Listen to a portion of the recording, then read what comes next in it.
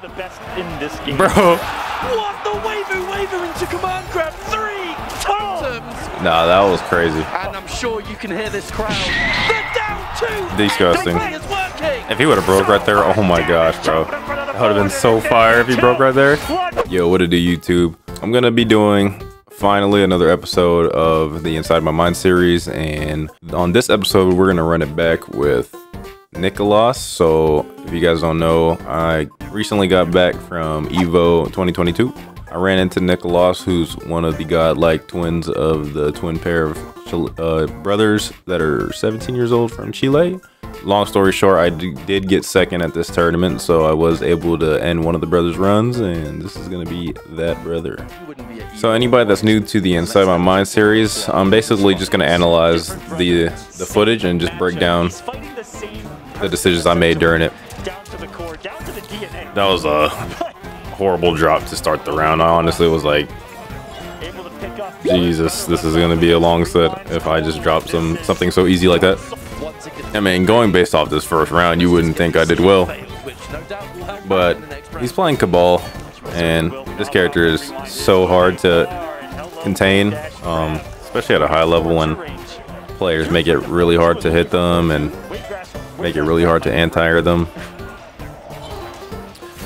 If anybody is confused as to why I played Kotal and never switched from Kotal is because um, Nicolas and his brother both play a plethora of characters that are hard to cover and Kodal seemed just like the perfect fit where I could just play him and not worry about whatever character they switch to. Um, yeah, I w- I didn't play Kano because they know how to play Kano and they're literally just going to counterpick because they play a bunch of characters. And I didn't want to go Johnny because I lost last tournament. And I, I kind of wanted to play a character that had a little bit more dirt to him. Johnny Cage is a little too honest. That was an insane micro duck. That was such a good read. Honestly, this round was so dominant. I turned it around completely. Yeah, I, I remembered fighting him that he had the back throw KB. Uh, I, it was really annoying having to uh, 40, I think. constantly be worried about him back throwing me for the the crushing blow. This is such a good round. It went from a horrible round to me just instantly off of two hits having the health lead. Kabal broke himself one now. Oh, the down two's already been spent. And that's it. Yeah, let's go back. Let me touch up on that. The fact that I read him throwing me Broke himself one now. so many times, oh, just I cannot believe he threw me. He tried to throw me two times in a row. I just read his grab and then he tried to throw me again. I feel like I was doing a pretty good job of mixing his command grab and his striking uh, so that the opponent kind of didn't know what to do on defense. If they sat there too long, they were getting grabbed. If they didn't, if they didn't budge. Um, you know, if they okay, if they sat there too long, they were getting grabbed, and if they were trying to squirm too much, they were getting hit.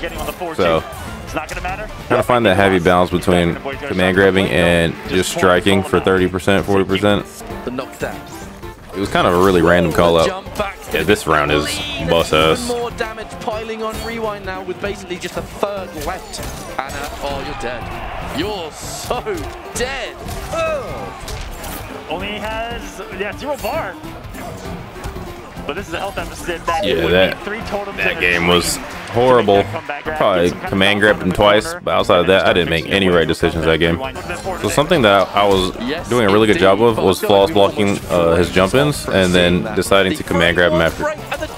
So whenever The ball can jump in. He usually does jump three and then slight gasses and then does another jump in. But when you flawless block him, you take the ability away for him to do the slight gas. When you're fighting characters that can pump out what Kabal's able to do. So knowing that I flawless blocked it, I would just command grab because a lot of people kind of just freeze up when they get. Can't even do anything about it. It's guaranteed right there, ketchup. Nicolas is going to This sit is there scary. take that one. I was a little bit nervous as to what was going to happen. Maybe a This is more scary watching it than when I was playing it, honestly. Minus frames. Did I for floor. Didn't bite. Only the forward two hits, so there's no confirm. Oh my The God. jump back's good. and That was annoying. He sat there that whole time. I could have command grabbed, but I was like so scared. I didn't want to kill myself.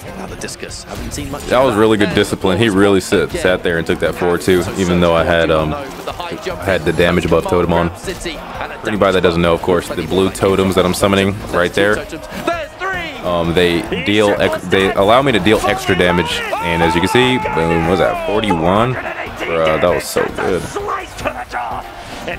So every totem that I stack, it's, a, it's an extra damage. That was such a bad drop. It was embarrassing. That was an embarrassing drop. I literally out neutraled him, out footsied this man, and then instantly just dropped. I could have lost. I'm just so happy I had a huge fat health lead.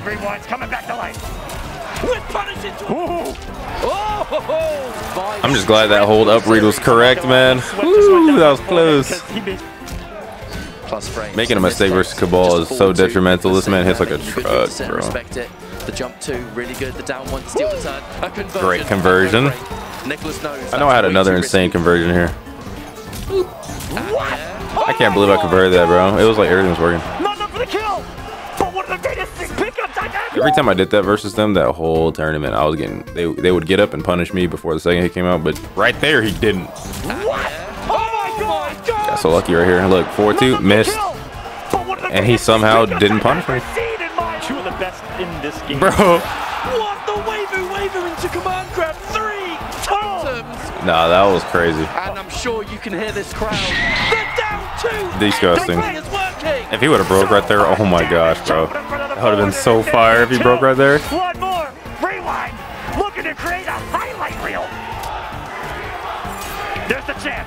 America's feeling it. Nicolas needing a miracle. Rewind grab in air as I am on commentary. Yo, oh, look at how close it is. I don't even want to talk. The stagger game. The scary. That's the last breakaway. Nicolas is going to get in this round. The up three for the safety. No, I was playing it safe right here. And then, bro, when he hit me with this, I was like, oh, I was like, God damn it. I was like, bro, don't choke. Don't choke. Please don't choke, please. What's the decision going to be? Is Rewind going to risk a wake up? No, but still risky. Man, this entire time, guys, I tell you, bro, I was looking at my health bar, as you can see on the top left. I was waiting to see. I was like, please give me enough. Uh, please deal enough damage for me to get Fatal Blow. All I was thinking is, if he gives me Fatal Blow, boy, am I going to anti this man with Fatal Blow. And he better not jump at me. I cannot believe he jumped at me, honestly. That was so good, man. Look at that, bro. Look at that crowd. The crowd was massive, man. To beat a twin offline. Nah, that crowd was loud. The video doesn't even do it justice, guys. Like, I've never been, I've been competing for around like five years now. I've never heard a crowd that loud for any NRS game. Not for Sonic Fox. Maybe the only comparable amount of um, loudness was when Honeybee made that uh, that run in 2017 with Flash. But outside of that, dude, I don't know. That was crazy. I'm not even trying to gas myself up. That was a insane amount of energy, and you have to thank the Chilean brothers, man. They they really, um, they really shook up the scene with their talent. I mean, they just came out of nowhere. Just one CEO, one Combo Breaker, one Combo Breaker. It was a it was both of them in grand finals, and they really just kind of added a new little storyline um, to the NRS scene. And for me to come in and be the first person to um, eliminate one of the twins from the tournament. Not, but previously the only people to beat them were each other. Like they've never lost to anybody. I mean, they've they've lost to okay. So Nicolas lost to Kukui, as CEO, but outside of Kukui, I'm the only person who's actually straight up eliminated um, one of the twins. So um, props to them, and they honestly have made the scene what it is right now, man. So. That's gonna wrap up the end of the video, guys. If you enjoyed it, drop a sub to the channel, drop a like, and I'll see you guys on the next one. Peace.